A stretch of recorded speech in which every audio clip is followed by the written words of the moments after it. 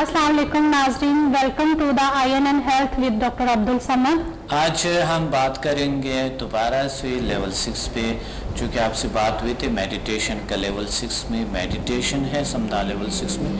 और इसमें और बहुत से कुछ है जो आउट ऑफ़ बॉडी एक्सपीरियंसेस हैं। और H S P help of super powers है। और साथ ही इसमें है फास्टर डिस्टेंस हीलिंग है। तो किस तरह के आज खालदा हम कहाँ से डॉक्टर साहब अभी जो मेडिटेशन का हमारा था वो कंप्लीट नहीं हुआ था।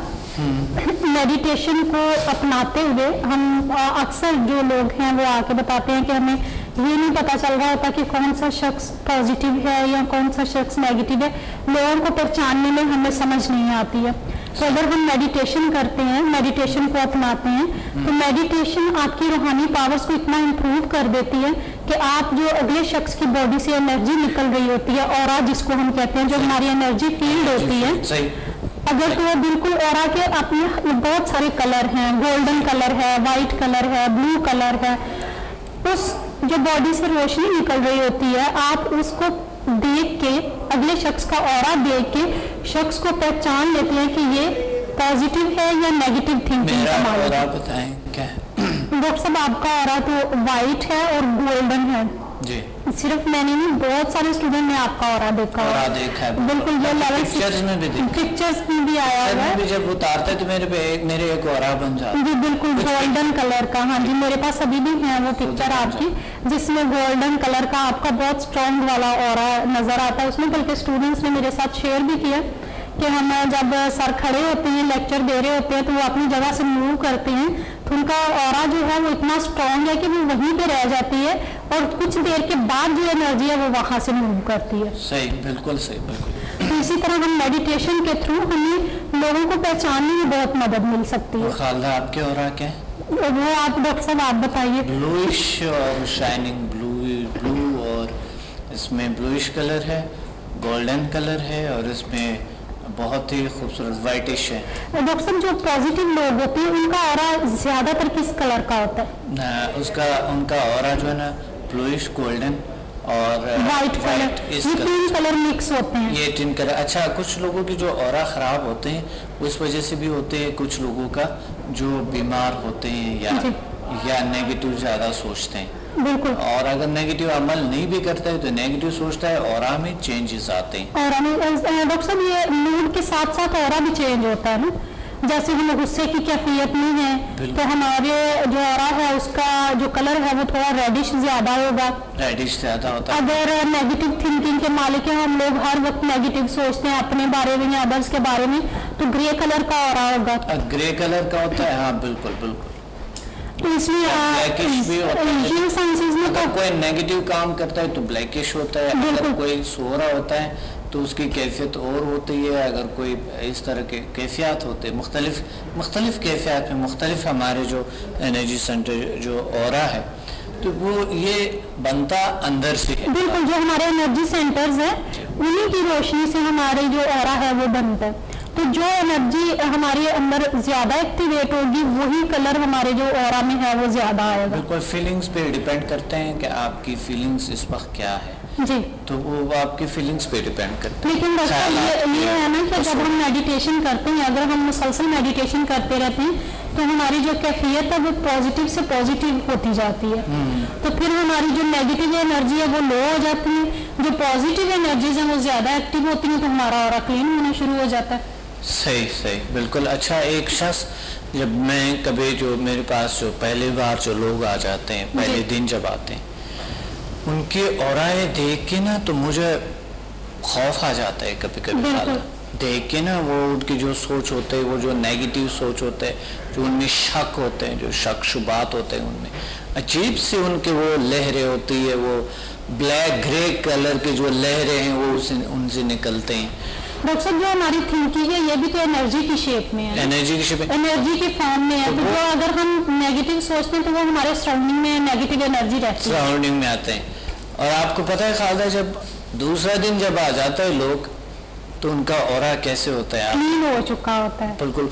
वो खुद भी कुछ लोग देख लेते हैं कुछ स्टूडेंट खुद भी देखते हैं अपने और को अपने जो एनर्जी जो बॉडी है वो खुद भी देख देख सकते हैं वो, वो खुद देख। सकते और वो खुद ही यानी उनकी कैफियत इतना खुशगवार इतना अच्छा इतने एक पॉजिटिव वो जब मेरी तरफ़ देखते हैं ना तो वो पॉजिटिव एनर्जी उनकी आँखों से भी निकलते हैं। उनके वो चेहरे से पॉजिटिव एनर्जी बोलने से भी वॉइस में भी पॉजिटिविटी आ चुकी होती है। इतना मज़ा आता है मुझे वो सुकून आ जाता है। मेरा सबसे ज़्यादा जो है जो पहला दिन होता है वो मेरा अजीब सा गुजर जाता है। जो पहला दिन जब मैं क्लास दे देता हूँ लोगों को दूसरा दिन मुझे इतना सुकून होता है इतनी अच्छी फीलिंग्स होती है। ऐसा होता है जैसा कि मैं हवा में उड़ता हूँ जैसा कि मुझे एक कल भी सुकून होता है बस। लोग इतने सारे ठीक हो के जो ठीक हो चुके होते हैं और समुदाय से ठीक हो चुके होते हैं और उनके क्रोनिक डिज़ीज़ मसाइल ठीक हो चुके होते हैं अल्लाह ने ठीक किए होते हैं।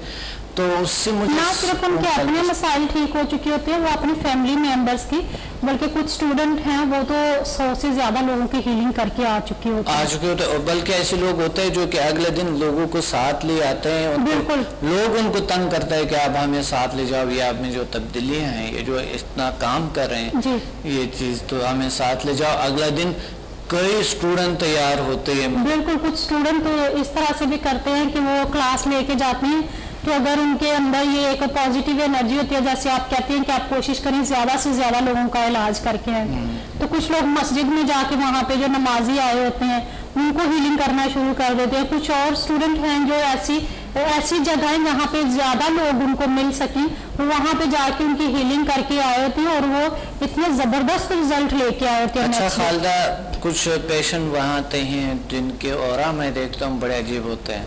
तरस पे आते हैं बेचारों। अच्छा वो कहते हैं हमारे आप खुद इलाज करें। हम ये ट्रेनिंग नहीं ले रहे हैं। ये जो ट्रेनिंग आपका है नहीं लेते।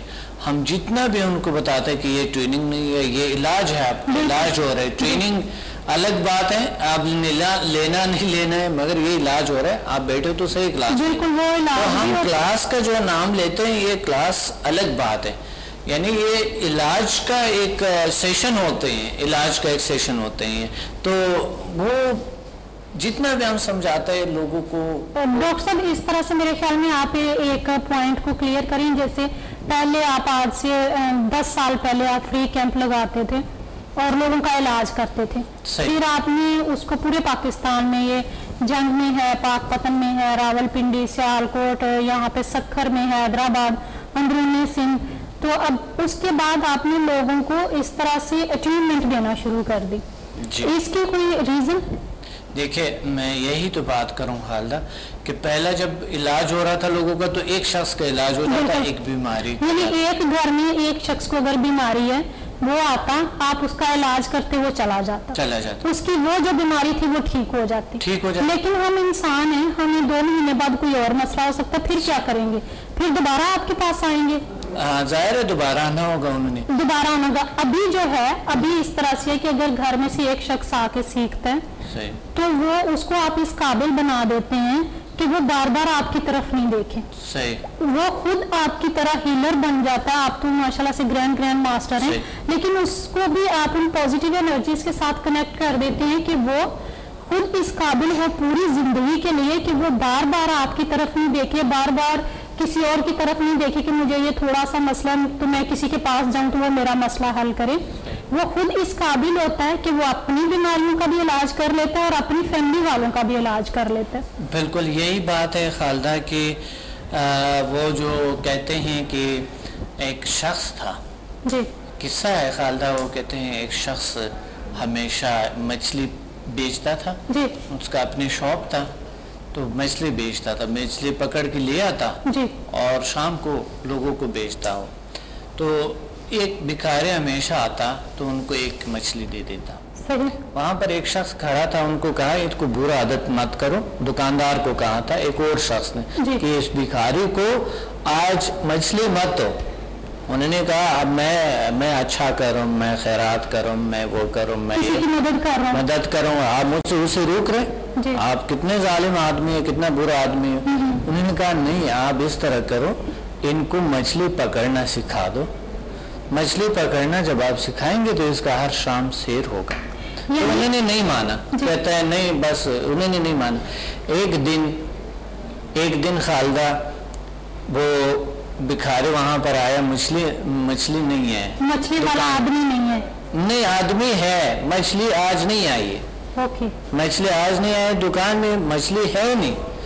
तो उनको जब हुआ था कि मछली जो है ना आज नहीं है तो वो शख्स वही खड़ा था, दूसरा शख्स उसी टाइम पे उसका कहता, मैंने नहीं कहा कि हमेशा तो आप इनके मुँह में नहीं डालेंगे, आप इनको उस काबिल बनाओ जो ये खुद मछली पकड़ के इसका हर सुबह शाम, सुबह दोपहर शाम और उसका पेट जो है ना वो भरा हो भूख ना आपका इतिहास मोहताज ना हो मेरा ना हो किसी और का ना हो।